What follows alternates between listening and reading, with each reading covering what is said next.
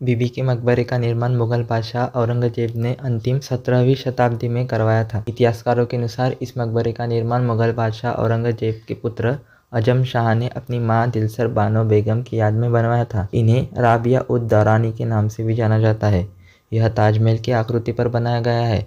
इसे स्थानीय लोग गरीब का ताजमहल भी बोलते हैं, जो कि सिर्फ़ सात लाख में बनाया था। अगर वीडियो आपको अच्छी लगी इन्फॉर्मेटिव लगी तो like subscribe my channel thanks for watching